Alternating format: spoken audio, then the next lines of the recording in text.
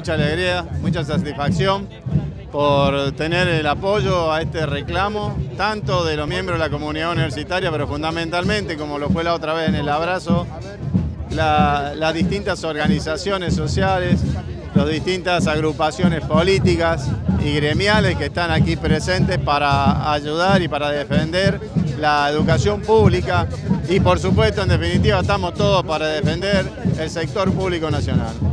Si nos tendrías que sintetizar cuál es la importancia de la universidad para no solo la ciudad de Río Cuarto, sino para toda la región y sur de Córdoba. que la importancia de la universidad es histórica, desde el momento de su creación fue fundamental y sigue cumpliendo con esos objetivos que se plantearon desde la fundación de la universidad.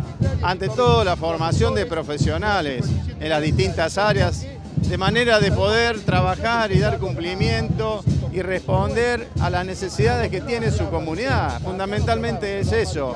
Y necesitamos individuos que no solo tengan conocimientos técnicos, tengan conocimientos y decisiones políticas, porque de aquí también surgen los dirigentes políticos que tiene la provincia, que tiene la nación, que tiene el municipio. Y eso nos enorgullece. Y para eso estamos. Y creemos que el objetivo es claro y vamos a seguir trabajando para ello.